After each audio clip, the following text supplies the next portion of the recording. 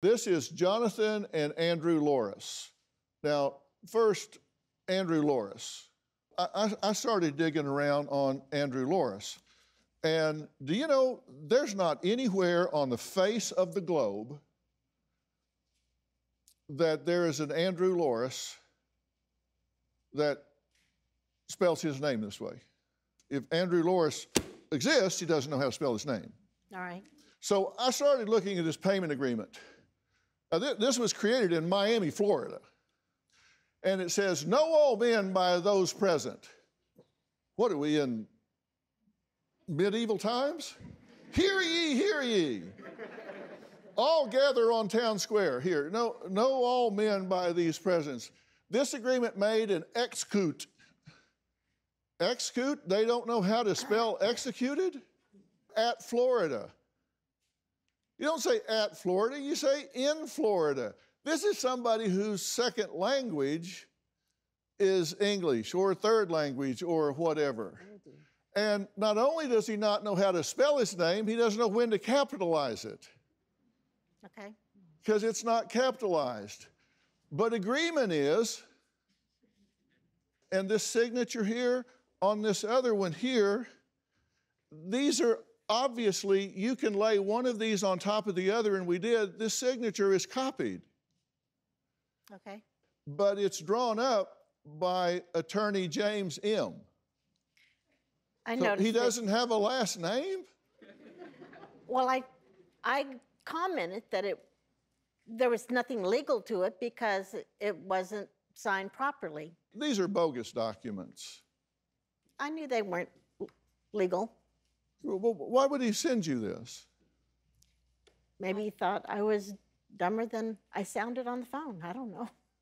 Why did he send it?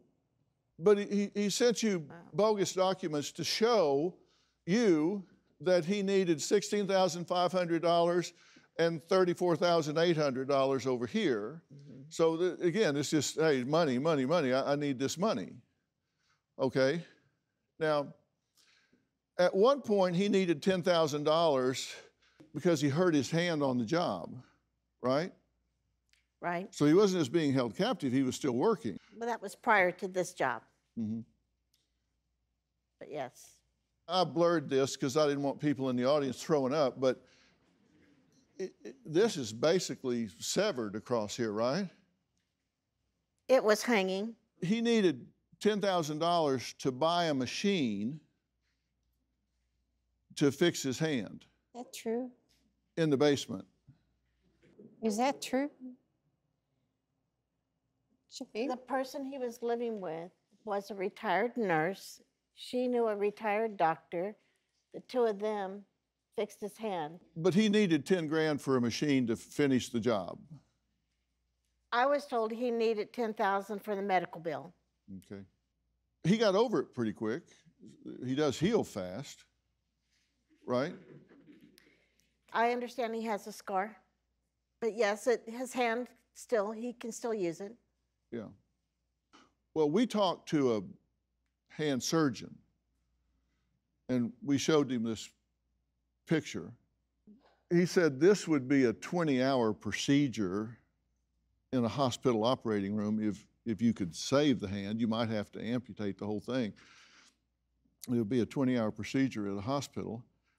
And uh, that didn't add up. So you'll never have a normal hand again, even if it is repaired. And, and so we started looking around and we, we found this picture on the internet three years ago. oh, no. Okay. Yeah. It was a circular saw accident. Somebody put their hand in a circular saw. So right. he didn't hurt his hand in November 2020. Somebody else did back in 2017, 2018. He just found a picture on the internet, and sent it to you, and said, Ouch, I need 10 grand. Okay. He didn't hurt his hand. Do you have a story or a question for me? Click the link in the description and tell me what in the world is going on.